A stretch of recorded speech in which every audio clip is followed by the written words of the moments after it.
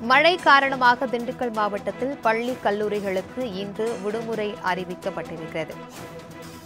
தமிழகத்தை பொறுத்தவரை பதினாறு மாவட்டங்களில் அடுத்த மூன்று நாட்களுக்கு மழை பெய்யும் என வானிலை ஆய்வு மையம் சற்று நேரத்துக்கு முன்பு அறிவிப்பு வெளியிட்டிருந்தது. தொடர் மழை காரணமாக திண்டுக்கல் மாவட்டத்தில் உள்ள பள்ளி கல்லூரிகளுக்கு இன்று விடுமுறை அறிவிக்கப்படுவதாக மாவட்ட ஆட்சியர் தெரிவித்திருக்கிறார்.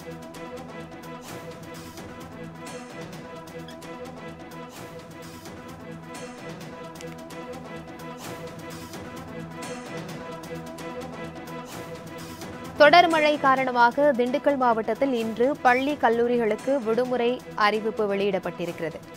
தமிழகத்தை பொறுத்தவரை அடுத்த மூன்று நாட்களுக்கு பதினாறு மாவட்டங்களில் கனமழைக்கு வாய்ப்பு இருப்பதாக சென்னை வானிலை ஆய்வு மையம் தெரிவித்திருந்தது.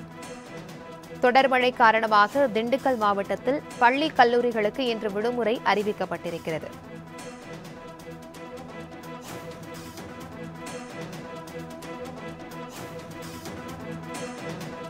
தொடர் மழை காரணமாக திண்டுக்கல் மாவட்டத்தில் பள்ளி கல்லூரிகளுக்கு இன்று விடுமுறை அறிவிப்பு வெளியிடப்பட்டிருக்கிறது.